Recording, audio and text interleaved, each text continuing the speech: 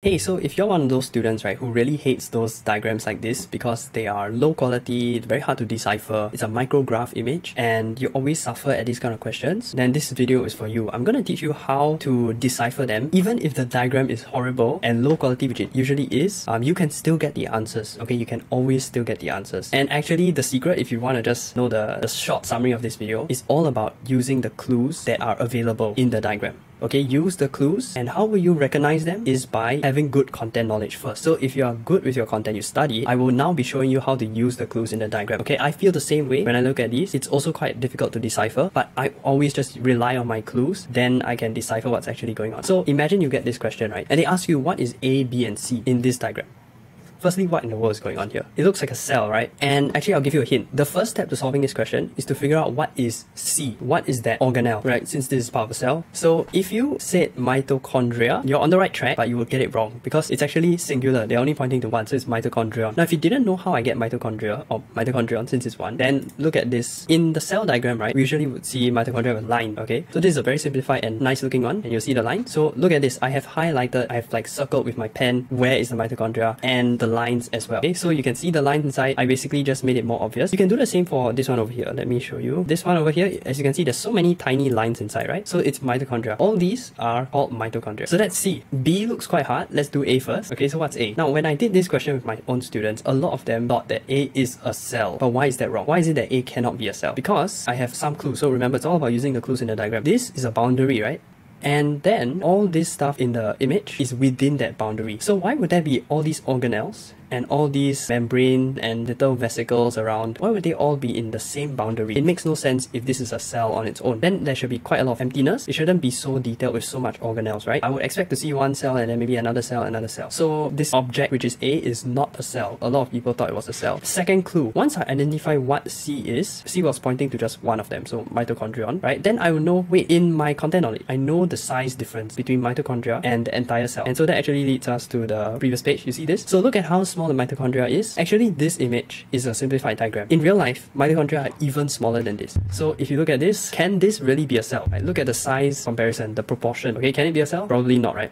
It's way too small to be a cell. Mitochondria are not so massive. It makes no sense. So it cannot be a cell. What can it be? Well, actually, it's the nucleus. Because if you look inside here, what is an object that looks similar in size? And then look at what's inside. You see, it's very grainy, right? You see all these dot dot dot. Yeah, so this is characteristic of DNA inside the nucleus. Okay, because the all these black spots you see is they usually stain the whole slide under the microscope with a dye, and the dye likes to bind to DNA. So that's why there's a lot of it concentrated in the nucleus. So A is the nucleus. Okay, last one. What is B? B is a difficult one. So there are two possible answers that people will think of. One is maybe it's a Golgi apparatus, because we know the Golgi apparatus or Golgi body is made of many of these stacks, right? Something like this over here, right? It looks something like that, which is why people might choose Golgi body. But this is the trick, right? Examiners are not so bad to you. They won't choose something that looks so weird and it doesn't have a distinct shape and expect you to say that's Golgi body. Notice the shape of the Golgi apparatus, right? It has like a Wi-Fi fan shape, like this kind of shape, right? Like a Wi-Fi. And the other one is just flipped. So it still has the same shape. So this is characteristic of Golgi body. If they were to ever ask you, what is this object? You would just say Golgi body because it has that characteristic shape. But this one over here, are they going to make you say Golgi body when they give you this shape? No, it's such a weird shape. Okay, so it's not. So this cannot be Golgi body because the examiners are really not that nasty to you. They would choose something that looks very obvious it's Golgi body if they wanted to ask you that. So it's not. It has to be one of the endoplasmic reticulum, either the rough or the smooth ER. So how do we know which it is? Well, look at these two diagrams over here. Rough ER has, okay, ribosomes studded on it. So look at all the black dots. See this? These are all ribosomes. This is the RER up close. So that's what we expect to see. Many black dots, ribosomes. Smooth ER looks similar, but there are no black dots. Plus, it looks more irregular. Look at the shape, right? It's more irregular. Like look at all this, it's fatter, right? Than uh, what you would see on the rough ER. So those are the two ways I know whether something is smooth or rough. Are there those black dot ribosomes? And look at the shape. Is it more irregular and is it fatter, wider? So now look at this. Which one does this look like? So does it have black dot? No. And it's irregular, right? You see like here there's a white one and then here's a narrower, here's much narrower. This is very obviously the smooth ER, not the rough ER. So where is the rough ER in this diagram? We can't see it actually. It might be like on the other side of the cell. It might be just further out. We can't see it. But all this stuff here that you see, a lot of it is just smooth ER. Okay, all this stuff, it's smooth ER running throughout the cell. A lot of it. So maybe this cell requires a lot of lipids and steroid hormones. That's or maybe it's heavy heavily involved in detoxification. That's why you have smooth ER because those are the functions of smooth ER. Okay, next question. Let's look at this. I know this is another difficult one. So background info tells you this is found in the small intestine. What is this? So the first thing I would do is look at the zoomed out diagram, the further one. What is this finger-like structure? And it's in the small intestine. What do we learn about small intestine, right? So we learn there are villi in small intestine. So if there are villi and there are finger-like protrusions, what do you think this is? The villi, right? So they're testing you on that. This is the villi. Okay, good job. We have identified what is this object. Next, we need to fill in three blanks. You see the one at the top and middle and bottom.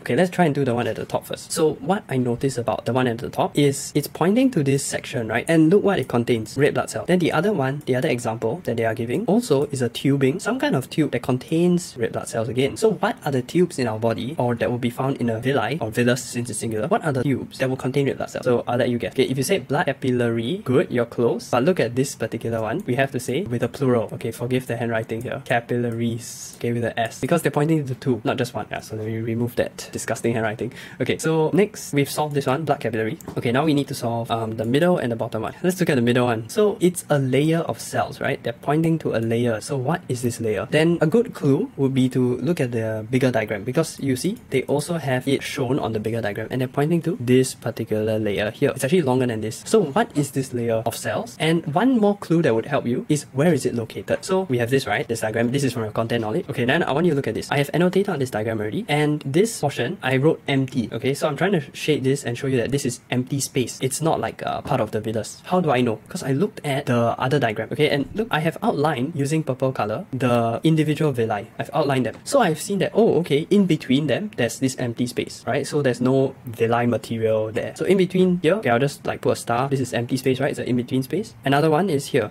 and there's another empty in-between space. So when I saw this, I tried to look where is it located on the zoomed out diagram. And looking at this box, right, they've pointed here.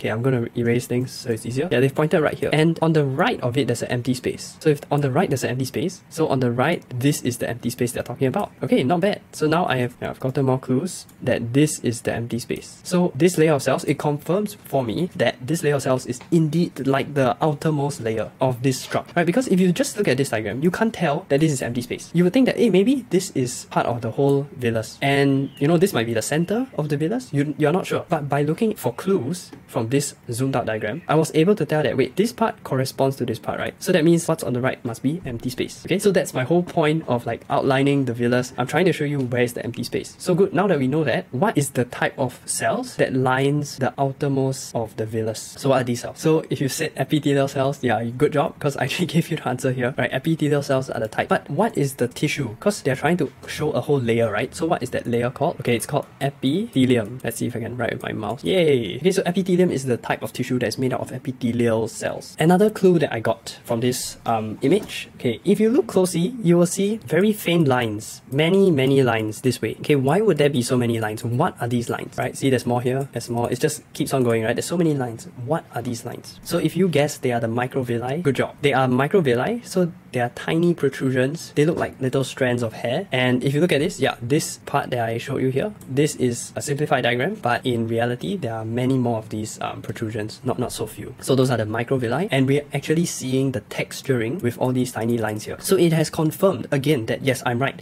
This is epithelium. This tissue is epithelium. Okay, so even though the diagram is very hard to decipher, but using the clues from our content knowledge, we try and piece things together just like a detective, right? We are adding multiple things together to confirm that yes, it must be that because there's evidence one, two, three, four, and so on. Okay, and last one, this over here. So this is actually the easiest one now because it's pointing to the middle part of the villus. And what's in the middle? Look at this. Lymphatic capillary, also known as the lacteal. So I will write here. Okay, why is it so large? Why is the lumen of the lacteal so large? It is meant to be that way. This is why fat globules get absorbed into there because fat globules cannot go inside the blood capillaries. The blood capillaries are too small. The walls are also not permeable enough for such large objects to come in, but the lymphatic capillary is able to do that. So the lacteal is where fats are absorbed. Okay, so good job. Those are the two examples I wanted to show you guys. And once again, you can do it even though the diagram is difficult, I know it's hard. I know it's uh, low quality most of the time when it's finally printed out for you to do, but it is possible to do. You just need to look for clues using your content knowledge. So even if the diagram is bad, you can still do it. You can still get correct. Just be careful and look for clues.